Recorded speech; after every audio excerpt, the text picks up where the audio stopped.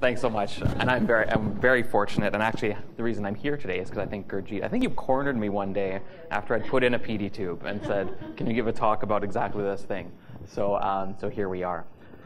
So, is this advancing? No. It's going to be a short talk. Um, maybe I'll just have to press the button. Okay. I'll stand here. So um, disclosures, I have no financial disclosures to dis, uh, disclose. I realized afterwards I probably should have put on that I do insert bedside PD tubes, but those of you who do it know that it's not much of a financial conflict of interest. Not and um, but the main one is I really like PD. I'm biased, uh, and you know probably a lot of you are here today because you also really like PD. So that's probably the one thing to keep in mind. But by the end of the day, I think you'll all like PD even more. So we're going to talk about a few things around this idea of urgent start PD. So that's something that's been gaining a lot of traction, something we do a lot of, and I know other programs are doing as well.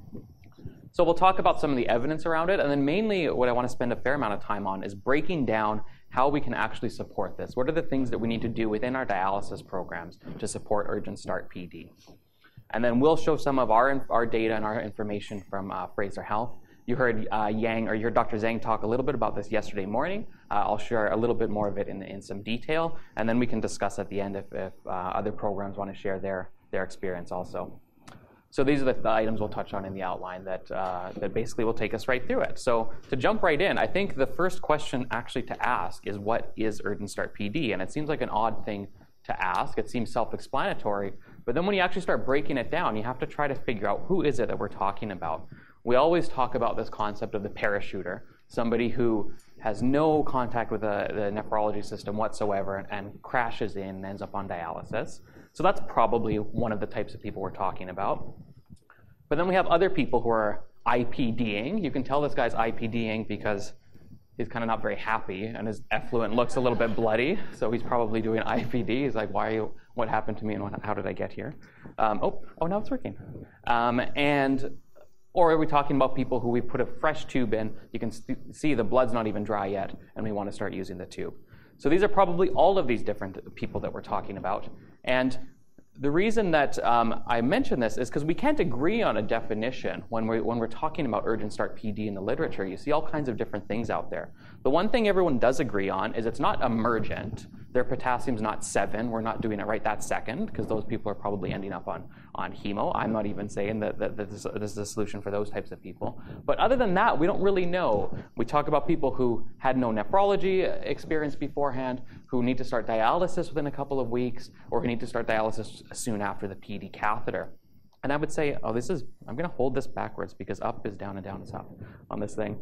Um, and I think the definitions here are important because these all actually imply different patient groups, different patient populations. And the way that we're going to target and support them is actually slightly different. So we'll come back to this, but first, we, you know, I want to discuss a little bit about the importance of the initial modality somebody ends up on, because that's really what we're talking about: getting people onto PD right at the get-go when they need renal replacement. We know that about half of our patients, when you give them proper education and proper choice, will choose to be at home.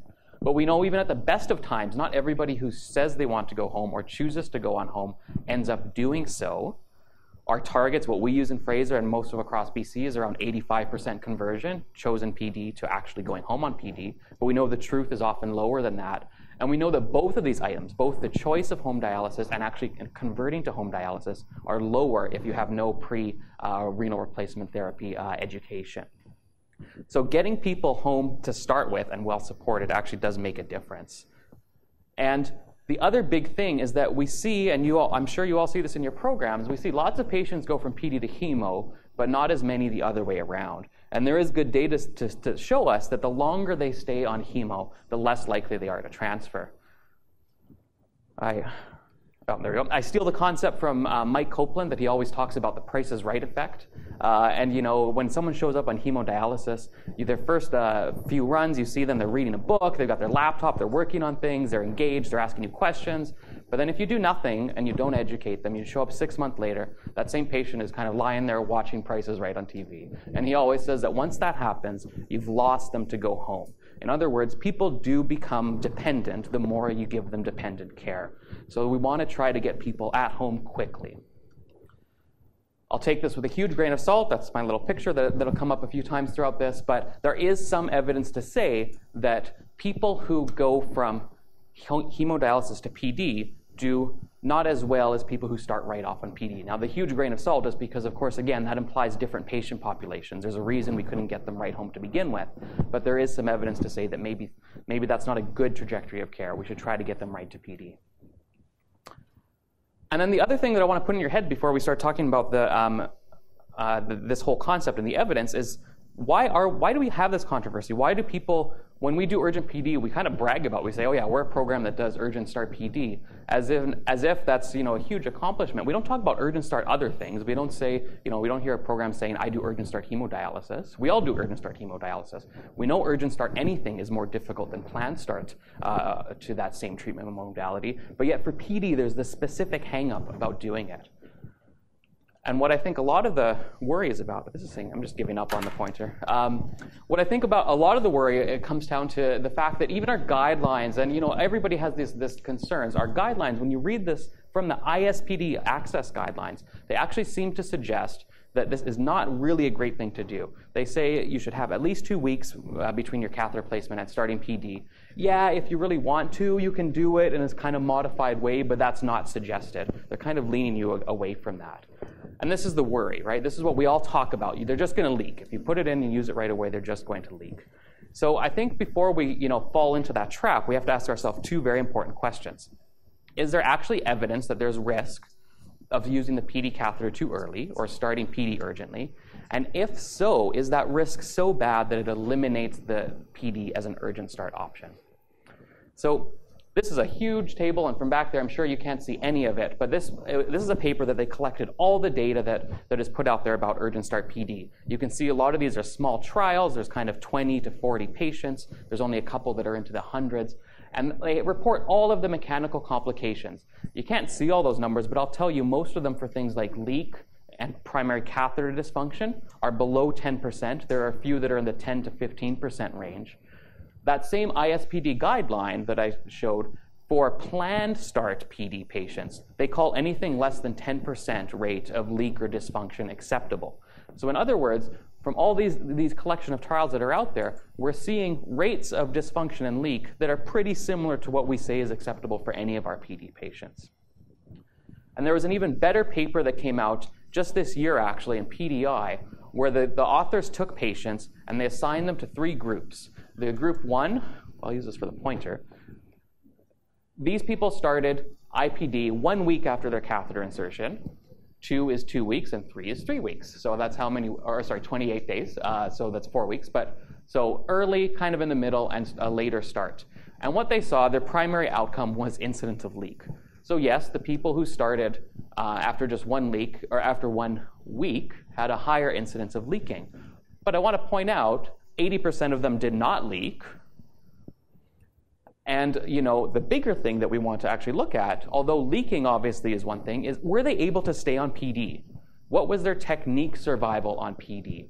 And actually, when you look at it, it does, there's no significant difference whatsoever. There was some suggestion that even in the longer term, the people that they waited longer didn't do quite as well as the people who they started right away. In other words, you don't want to drag their heels and leaving them lingering forever either. That's probably not a good thing.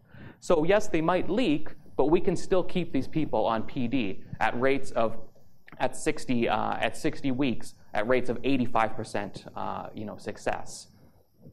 So that's a whole lot of worry when at the end of the day these people are actually staying on PD. And then the guidelines, whenever people talk about it, they say, well, there's a higher rate of leak, there's a higher rate of all these complications. But why are we comparing urgent start PD to planned start uh, PD? If we had the option, of course we're going to do things in a, in a you know, nice controlled method. But this isn't an option when somebody crashes in here. We're comparing apples and oranges. And really, I think the way to talk about it is this whole concept of suboptimal dialysis initiation. And this is something that we talk about in hemodialysis as well. These are really the factors. This is the group we're talking about, right? We haven't had a chance to educate them well. Maybe they're not getting onto their, their modality of choice or starting with a less than ideal access. And what I'm getting at here is that urgent starts uh, patients are very, very different than planned start patients. So let's flip it on its head as well. Nobody seems to talk about this as much, but urgent start hemodialysis obviously has a lot of risks associated with it as well. And these are some big risks. So starting without, prior without prior nephrology involvement, this is risk for 120, 120 day mortality. Those people tend to have worse mortality. Again, a different patient group than somebody we've known about for the last 10 years. But this is a big one. Starting dialysis with a CVC has a risk ratio of 1.6 that is worse than having coronary artery disease, worse than being diabetic. It's about the same as starting dialysis with active heart failure. So, starting dialysis with a line is obviously not a good thing either. So, what we really need to talk about is urgent start PD versus urgent start hemo. In other words, we know we're not in an ideal situation. We're scrambling to start somebody on dialysis. These are really our only two options uh, in front of us. And so, when we look at this, there's a few observational studies again they're very different patient groups, so it's hard to compare. They're a little bit of apples and oranges here. But at the least, what we can say is that there's no difference in six month outcomes. And there's much more bacteremia because we're starting people on hemodialysis with a line. So they're having rates that, this is quite high from this cohort, but 20% uh, rates of bacteremia. A group that's gone through and analyzed this data kind of plotted it out this way. And I, I think this is you know, again, trying to put, wrap our head around the, the types of patients. So here, uh, this side of the graph is looking at our planned PD starts versus patients we know about and starting uh, with, a, with Align. Now, I would say this half of the graph isn't really as relevant because we're kind of comparing what, what I would say is the worst way of starting a planned patient with a CVC on hemodialysis to PD. So that's all well and good. But let's look at this side where we're talking about our unplanned patients, patients who had no prior modality uh, education. And although there was no significant difference, because we don't have the patient numbers to look at it, and we are comparing different populations, there is a, tw- a trend towards worse mortality when you end up starting somebody on, uh, on urgent hemodialysis with a CVC. So I would say yes, there might be a slightly higher risk of mechanical complications when we're starting people on PD early or urgently. But what we can definitely say is there's fewer severe infections, there's fewer episodes of bacteremia. I didn't put a bullet point here to mention mortality because there's, you know, we just don't have the evidence for that and it's such different patient groups. But if really that's these are the two things ahead of us, I think that at the end of the day, when we look at the data, it's at least as safe, if not safer, than urgent start hemodialysis.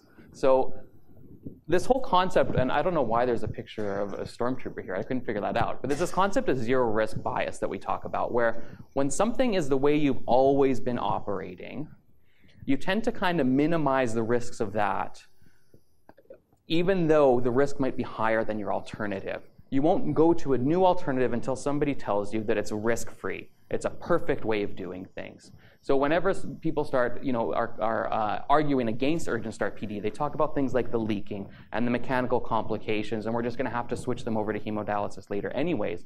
In other words, they're trying to make you prove to them that urgent start PD is safe when we know that just putting all those people on hemodialysis the line is probably a higher risk thing to do to them, anyways. So that's my talk of the limited evidence that we have around urgent start PD. So uh, hopefully we're all a little bit more on board uh, with it by now. But now let's talk about what do we actually need to do to support urgent start PD? How do we make this happen within our dialysis programs? So again, I want to come back to this and talk about these different patient groups that we're talking about. So that somebody who needs to start dialysis soon, not emergently, but soon, Maybe it's people who weren't known to us before and need to start soon, or maybe it's people that for whatever reason we need to get a tube into quickly and then start them on, on renal replacement. We don't have that wait, that luxury of waiting around multiple weeks for their PD tube to heal.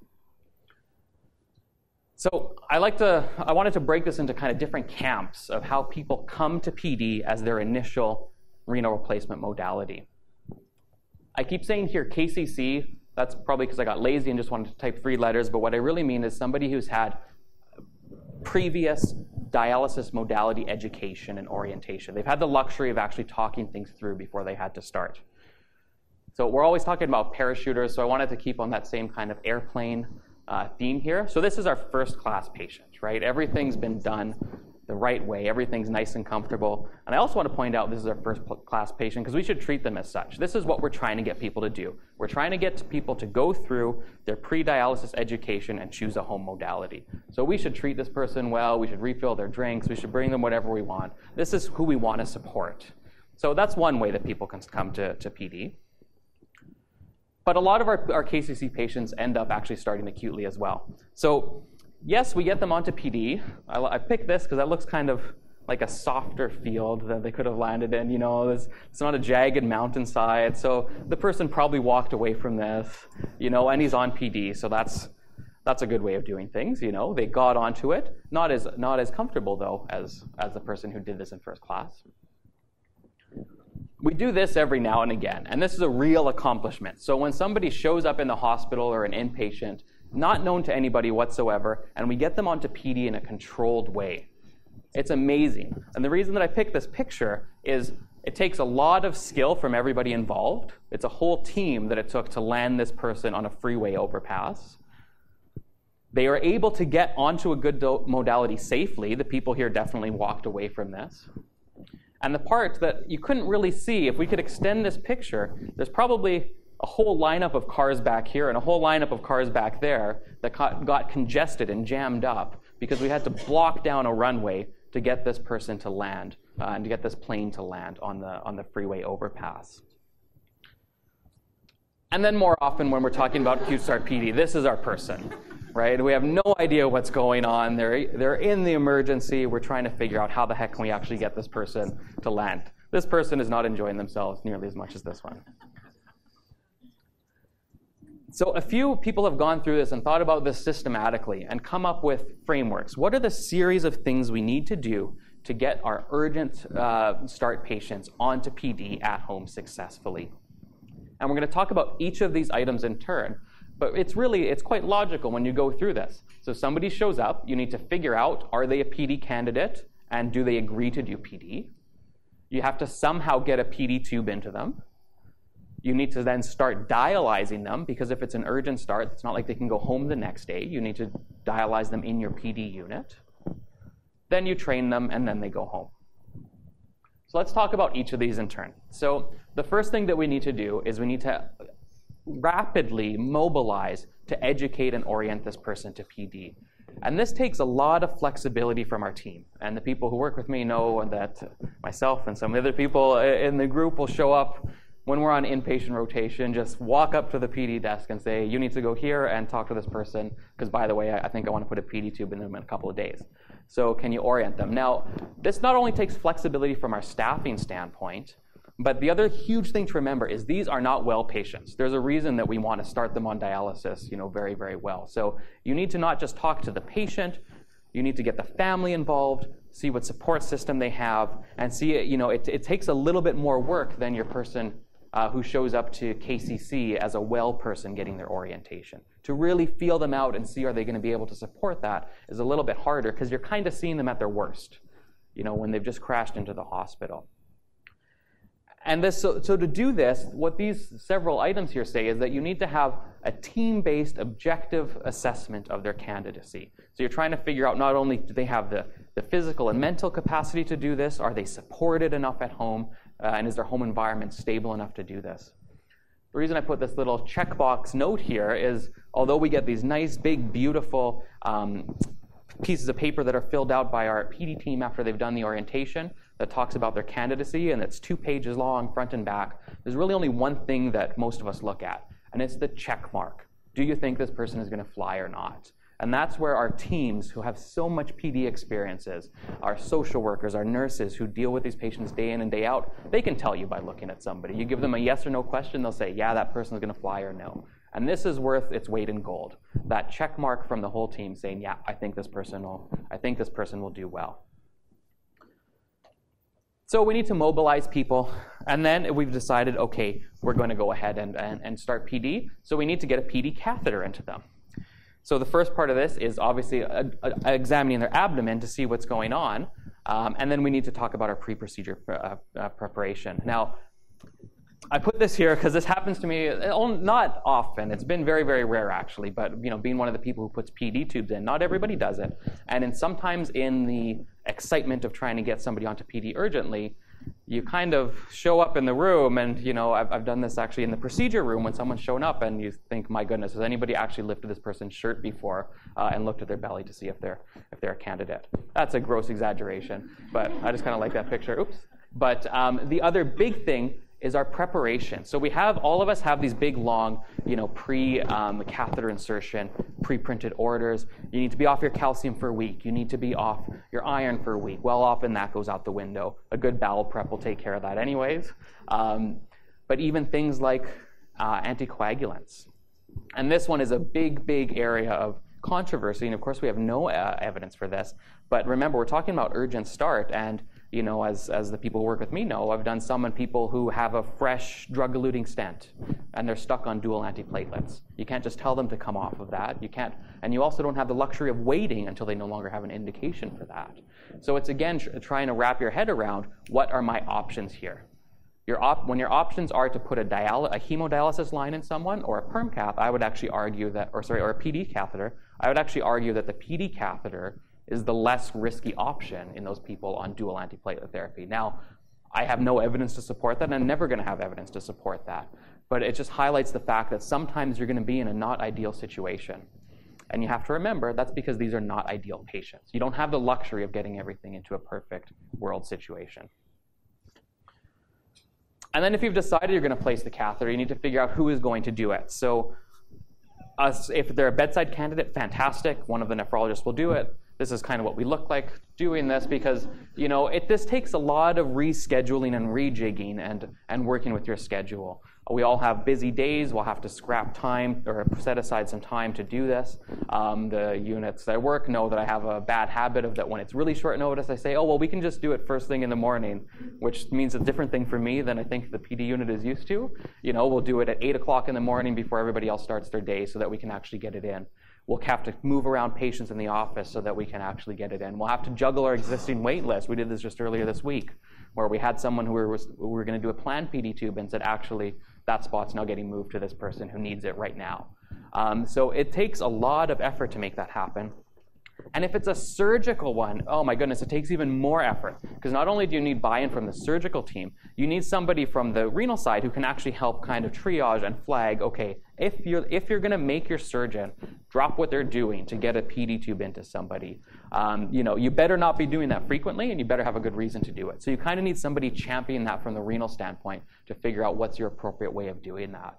And it takes a lot of you know, cross-discipline communication, whether it means admitting the patient so that they can do this on, on the add-on slate, um, you know, or, or creative ways around that. So this is actually you know, a big effort. But actually, a bigger effort is actually starting to dialyze the person. Because that was a one time episode, right? Getting the catheter in them, and we, and we did that. So now we have to actually start using the dialysis catheter.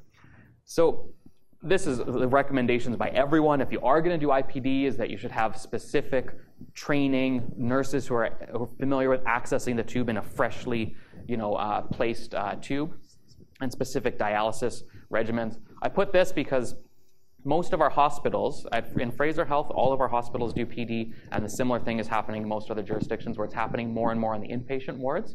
We cohort the patients who do PD into certain areas where presumably the nurses have, uh, or I shouldn't say presumably, but where the nurses have more experience with PD. But even those nurses who feel like they're quite good with PD, you know, we specifically tell them, hands off, our PD unit is taking care of this. You don't touch the tube, you don't do anything with the tube. This was just put in a couple days ago. We're the ones who are going to who are to take this here. Now, if people, if the programs ever get big enough, maybe that could could diffuse out into the ward. But I think that this is such a relatively smaller group of patients that, that if you're going to devote any energy uh, from your PD staff um, for doing IPD rather than letting any other nurse do it. This is really the group, right? We don't want anybody to kind of, uh, you know, muck up our newly placed tubes. And this is probably the, one of the biggest sources of where we really have to think about our resource planning.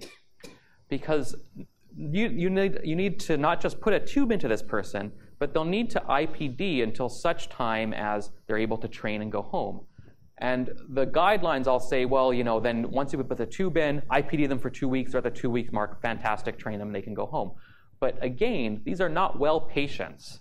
I can think of a few examples that come to my mind quite clearly of people who were IPDing for four, you know, five weeks, six weeks even, um, because they just weren't well enough. They were still in and out of the hospital, maybe admitted the whole time. Um, you know, so it's not just a short little block of IPD. You really need to be able to keep this person dialyzed, which is a huge um, impact on our dialysis unit, both in terms of space and in terms of staff. And then this step was missing actually from the algorithm that I showed. And so I, I, put it as an extra step. And that's identifying complications. Because this is what everyone was worried about to, to begin with, right? Before we started doing Urgent Start PD, everybody was worried about this patient who was going to spring a leak. Now, we know from those reports that I showed you earlier that somewhere in the order of 10% of people to 15% of people will experience that. So again, I, I want to reemphasize that means 85% of people will not, and they'll be perfectly fine. But for the few that do, you can still get around it. Remember that trial that I showed you from PDI this year, that they kept everybody on PD. Even the ones who had leaks, over 80% of them still stayed on PD. You sometimes end up being creative with your prescription, going to lower volumes. Uh, you know, maybe you give them a couple days off if they can tolerate it, or even longer than that if they can tolerate it. But with a little bit of manipulation, you can keep these people on PD. It's hard work. It's not easy, especially when things come up. But you can try to keep these people on PD. And that report from earlier this year was a great evidence uh, that, that speaks to that. Then eventually they've IPD'd for a while and you can actually start training them and getting them to go home. So the training can begin once the tube is healed and the patient's well enough. And, and, and as I would say, in our experience, this is the limiting factor, right? People always say two weeks for IP, IPD and then go ahead, train them, and send them home because you've had that two week healing time now. Um, but in our experience, when we're really talking about unwell people, um, it's probably when they're in shape to actually go home and learn how to train. And this also can take some flexibility because if, if they've been sitting there IPDing now for several weeks, you kind of do want to get this person trained so you can free up that spot, both in terms of physical spot and nursing staff uh, in your dialysis unit. So this is where you sometimes are having to play with your queue a little bit. And maybe the person who had a surgical tube and can wait another week or two before they train gets bumped a little bit uh, longer than this person who you've been devoting all this energy to IPDing for a month and you kind of just need to get them home. That was cue jumping. I don't know. I really like that. This was, I think, the highlight of my presentation. Um, so I'm going to talk about our experience in Fraser Health, but you know, I really think I can summarize it in a couple of words, and that's that Urgent Start PD is a lot of work. So Dr. Zhang presented some of our data specific to Surrey yesterday morning. This is actually Fraser Health as a whole. And we had some trouble trying to get this data in that it's a little bit hard to tease out. So first you have to figure out what definition you're going to use, and then you're going to have to see, do we have the data within PROMIS or anywhere to try to actually identify it. Um, it was a little bit harder, and we found, you know, I think, we, I think with, with a little more effort, we probably could figure out um, people who had a very short duration between tube placement and starting uh, IPD. That was a little bit harder. So what we just went with is people who went straight onto IPD without any prior renal replacement before then, because that's an easier number to get. And this is what we see. We've been doing more of it over the last few years. This is 2017 up until September 1st, right? So we're definitely going to surpass the year before that um, with you know three months left of data to add on to that. So we've been doing more and more IPD at least so we've been dialyzing people um, before they're ready to train. Now, before I break that down a little bit, uh, I wanted to come to this point that, you know, that whole thing about IPD, all those items that we had in that flowchart takes a whole team of people, right? We can't just stand here and, and say that we've been doing more every year because, you know, um, a couple of us have decided to put in tubes and a couple of our PD units have been nice enough to agree and let us put in tubes. Um, it takes a whole lot of work, and I, I can't say that enough. Our whole team is, is responsible for getting those numbers up. So let's talk about what we need to build into our, our, our program a little bit more. So for staffing, um, this is an issue for us on a couple of fronts. So those tube insertions that we're scrambling and you know that they're nice enough to let me do at 8 o'clock in the morning, um, that's an easy thing for me to ask, but it means moving around somebody's shift for the day. So that's hard to do. Then we need to get time to, um, to do the IPD. Sometimes for many, many weeks, we're moving people around. And as I said, the orientation comes up. So this is not a small thing. There actually has to be capacity in your dialysis unit to do this. So when we say something like build in capacity for urgent starts, that's all well and good, but I know the dialysis, the PD programs on the province, it's not like any of them are sitting around idle and not seeing patients or anything like that, right? So anything you do comes at the expense of something else that you're doing. So it does, ha- it does require a lot of flexibility to be able to do this. And that's why I think triaging is a must. And by triaging, I mean you really need to know what's coming in your PD program. Because although nobody's sitting around idle, we do know that we're going to be doing IPD and we know that we're going to be training. So that's already kind of built into our workload. So we want to play around with what's coming through. And the main source of that is from our other renal programs. So that you can't just be a PD unit isolated unto itself uh, not communicating with anyone else. You need to know from the KCC who's in the pipeline, what is the surgical you know, insertions looking like, and who's getting their tubes put in soon, and what are you going to um, what are you going to be expecting in terms of the, the training uh, burden that's coming to your unit, um, and who amongst those people who are coming to you can be moved around because flexibility is really the key here triaging to say this person needs to start right now and maybe this person can delay their training by a week is a huge, uh, huge area of success here. And the reason that I say we need to be in communication with our units is, is, is this. And this is something that we need to break down a little bit more in Fraser Health, and I think that we need to start breaking down um, across the province a little bit more. Dr. Zhang talked about the similar thing yesterday, where most of our IPD or urgent start, or however you want to define it, most of those patients are coming from our KCC. They're patients that we already know about.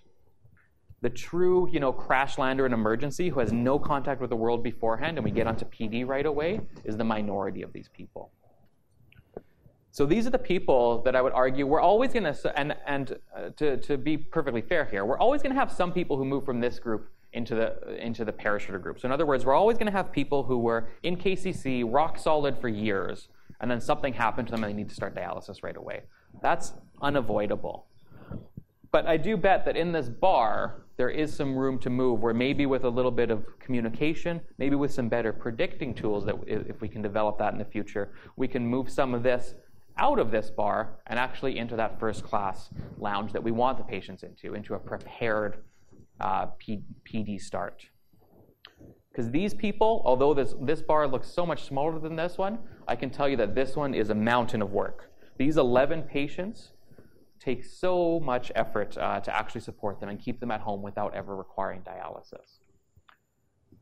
And that's really what I'm, what I'm talking about here, is that these people got out of the plane, they landed in the nice soft field, but can we actually make them into a smooth start? In other words, I would say that, and it might seem weird to, co- to kind of come to this conclusion in an urgent start PD um, talk, but I would say that the, probably the single biggest way we can support urgent start PD is to do less urgent start PD. So if we can take those patients and turn them into smooth initiations, then we have time to extinguish this fire and get this person to land, uh, land on the ground. So I think to be able to support that in the future, like I say, we need this is an ongoing quality improvement thing that we're working on. And it's a really, really hard one to pin down because we're dealing with a whole different group of unpredictable patients. That's really what we're talking about here. You know, if they were predictable, they wouldn't be urgent starts. So just that nature of it makes it difficult to study and figure out.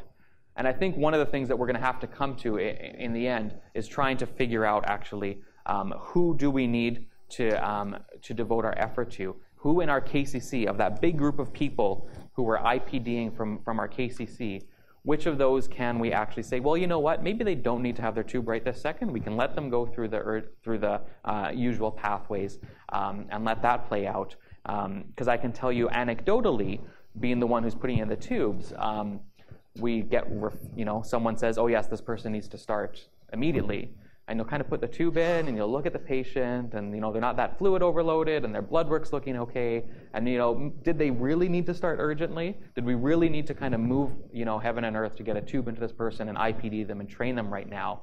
Or could they have waited a little bit longer? And that's that's I think when we we can start shifting that around um, so that we truly uh, have the the bandwidth to focus on the sicker patients, I think that's when this will really become a little bit easier. So in summary, if you leave after this talk, I want the, the couple of points I want people to go home with is one, I, I would say, you know, hands down, urgent start PD is not only possible, it's at least as safe, if not safer, than the alternatives. We are talking about sick people who need to start dialysis soon. They don't have a lot of good options in front of them. What's the best of the options they can pick? And to me, that would be urgent start PD. This is a team. This is a team-based approach. This is not something we do as nephrologists by ourselves. And in fact, our part is the easy one. You know, just just putting the tube, asking Gurjeet to schedule the person in and putting the tube into it. That's the small part. It's how do we support them through their IPD and training, and and streamlining, doing less of this so that we can focus on the the, the patients who truly need it is what's going to make this uh, successful. Um, few people to thank, the people that I work with, who I, you know, I have the privilege and the pleasure of doing this and doing this, valuable work, and all the, all the programs around the province. Just a few things to prove that I didn't make up everything that I was talking about, and then um, we'll kind of open up the floor to any questions.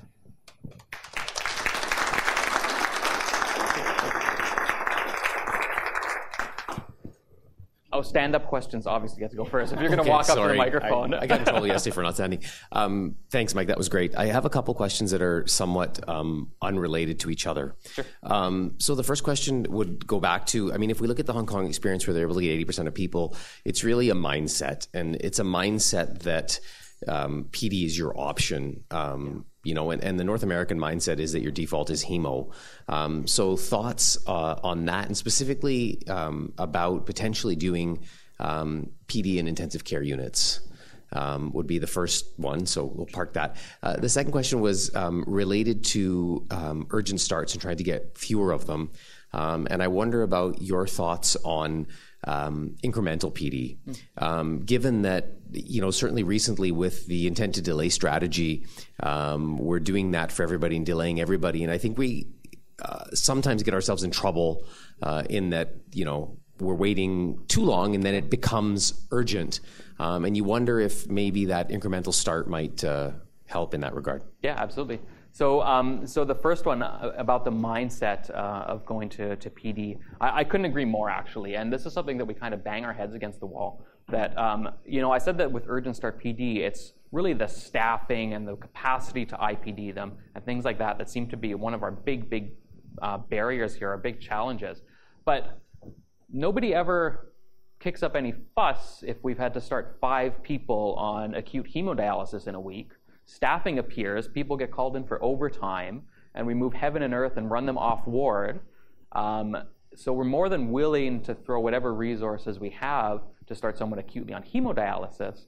But yet, when we start talking about doing that with PD, all of a sudden it's not a great idea, and we don't have the staff or resources to do it. So I, I couldn't agree more that it's a, that it's a mindset. And in terms of, uh, of intensive or, or, high, you know, uh, high care patients, We've done a couple in CCU. The CCU people seem to be a little bit more willing to listen to us. ICU, it's a non-starter that, you know, how would you ever do it? And in fact, I'm sure you fought this battle. Um, somebody shows up in the ICU on PD already as a pre-existing PD patient, and they want to switch them over because they don't believe that PD is a thing that works. And it's like, you're doing what with their abdomen? Uh, because there's no, you know, they're used to numbers and machines and things that they can dial in exactly what they want. And I think they find that lacking at PD. So, um, yeah, I agree that it's, it's kind of shifting the, um, you know, the, the whole mindset of everybody that no, no, this is our default treatment, and, um, and it is something that we can do in sick patients, and we can do successfully in sick patients. And the last people, it's not just our, our, the people who provide care, it's also within our programs and, and the administration that if we're always willing to support whatever we need to do to get someone on hemodialysis acutely, why does that not transfer over to PD? And if I need to call in someone, you know, call in overtime or we need to get an extra staffing, that's where we throw the resources. So I couldn't agree more. And then, um, was that both your questions? Incremental start. Incremental start. Oh yes, love the idea of incremental start actually. So um, you know we've actually started talking about that in Fraser. We are starting to go more towards saying, okay, you know what? At 10, this is probably time to put the tube in, um, and if this means that you know we show somebody how to do one extra kneel overnight, one they're probably not as uremic when it comes time to train, and your units will thank you uh, for that. You know we've kind of not having the patient sitting there in the chair, you know, trying to stay awake uh, as they're learning. Um, and, um, and yeah, it's a way of kind of smoothing out, turning some of that workload into predictable workload. rather than, like you said, waiting for them to crash in. So I, am a huge believer. I didn't show any of the, the, information on it, but I'm a huge believer in incremental starts. Yeah. Oh, sorry. Sorry. And then she, but uh, Shelly's up, and then um, you have to um, stand up if you want to get your question right away.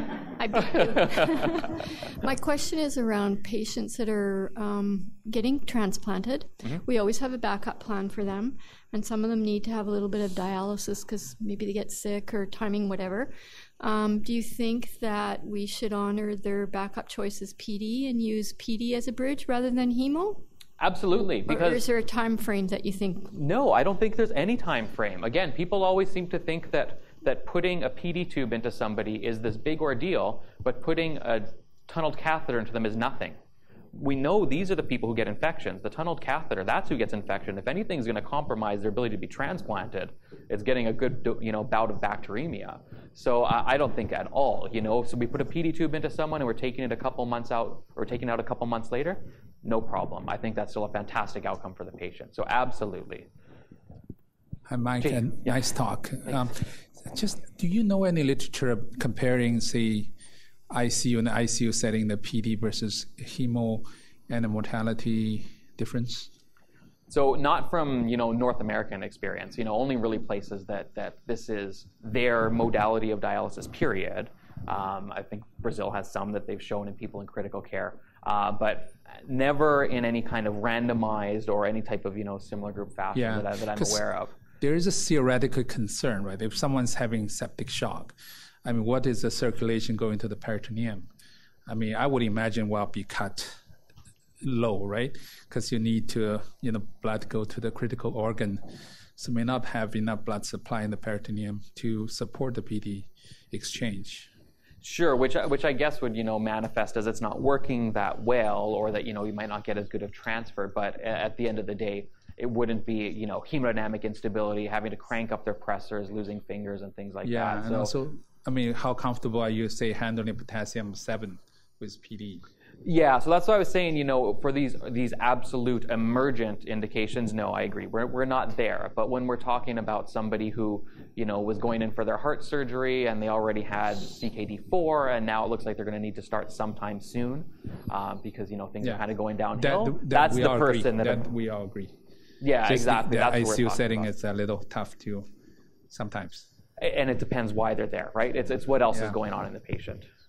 Yeah, thanks. But to say that it's that it's not an option at all, or uh, often the mindset is frankly that people need to be switched. Oh yeah, um, I'm not um, debating the yeah, uh, your your yeah your fundamental message. Yeah, yeah, just saying some exceptions. Of course, yeah, of course, of course. Hi. Yeah, thank you. Um, I was really interested in the fact that you said that you'd done some of the bedside insertions on pa- patients on dual antiplatelets.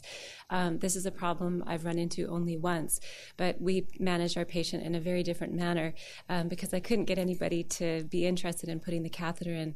So neither bedside nor surgeon were interested. And actually, the surgeon waited um, sort of the requisite um, minimum acceptable period of time after the patient's MI um, and took the patient to the OR, did the general anesthetic, and even used pediatric size um, laparoscopy equipment. And I thought, oh, that sounds also appropriate. So I'm wondering if you could share your experience on the dual antiplatelets, how many patients you've done, and your thoughts about bleeding, because yeah. I think if they do bleed, they're in pretty big trouble in terms of infection risk. Yeah, we've had. Um, I had one bleed uh, and someone who was already anemic, and it was just from you know a little subcutaneous perforator that we couldn't get to stop for some time. Ended up needing one unit of blood from it. That was the worst outcome that I've had. Number of patients I've done, I don't know, I've done five or six of them in the last little while over in Abbotsford. And what I always do is I talk to the patient beforehand. And I think this is where your informed consent process really is so important because you're laying down what are the options in front of you. Because I would also say that if somebody, you know, has a bad bleed when they get their perm cath insertion, if they happen to be that one, you know, that one in a hundred to one in a couple of hundred patients who has a very bad outcome, then then we're probably in a much bigger uh, problem. The PD tube insertion itself is a, it tends to be a fairly bloodless procedure. If you're going to have bad bleeding, you would have had it anyways. It means you've either hit the uh, you know, the inferior epigastric if you're having internal bleeding, or you've got one of these superficial vessels that was going to bleed anyways. So in terms of so it's not like uh, the, the dual antiplatelet is, I think, creating the complications. It means if it's going to happen, it's going to be worse, which is always what's in front of the patient who's on dual antiplatelet and needs to start dialysis anyways. So when I tell the patients, I, I tell them, look, you are at higher risk of bleeding because you're on this when I'm doing the procedure. But I don't think that the other options available to you are that attractive either. I don't think putting a perm cath in you is, is necessarily lower risk than doing it this way. We'll never have that data, but if I had to guess, I'd say that's a higher risk thing to do. That's super helpful. Thank you. Yeah. I might refer my colleagues to, to chat with you about their experience. And um, you might be interested to know that I had a very determined patient, and despite being on hemodialysis for three months, she did eventually go to PD, and she's still happily on PD. Oh, fantastic. Yeah. And that's always, yeah, if they're esta- when they're established and if they can wait, that's a, that's a different story, yes. But yeah.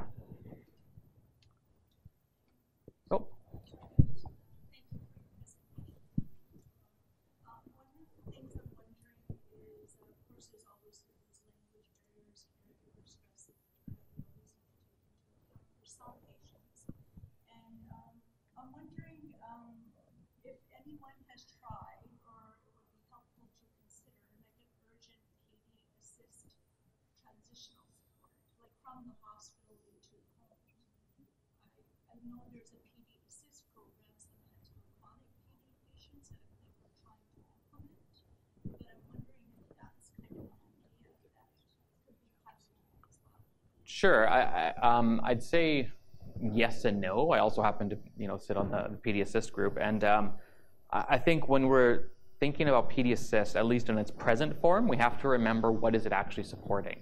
And right now, PD Assist in its present form is really a lot of the physical and manual tasks to do with PD, whereas you still need someone around who can do the troubleshooting, who can help with the connections, and who can make some treatment decisions.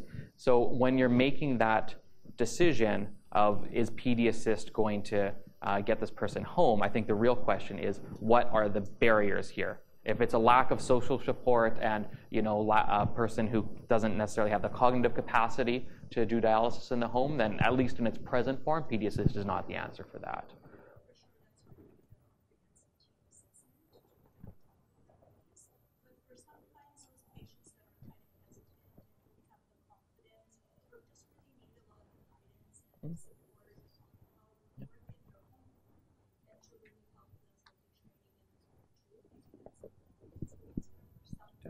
Yeah, if, if, they have those other you know uh, factors that would make that would enable them to do dialysis at home, that's actually something we saw in, in, our pilot when we did PD and we were tracking the data. Is that we did have I forget the exact number off the off the top of my head, but it was a non-zero number of patients come off of PD Assist. In other words, we think that just by having someone to help them out and kind of a little bit of hand holding, if you want to call it that, a little bit of support, a little bit of someone to talk to and see that this is a feasible thing, they then eventually said, ah, you know what, I can do this by myself.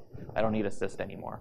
So yeah, you know, in some situations, a case to case, you know, assessment for sure. And, and that's where I couldn't agree more that that's what the initial evaluation is for. If, if you really want to be detailed about anything, it's, it's um, you know, trying to figure out if this patient's going to fly or not. The last thing you want to do is go through all of this work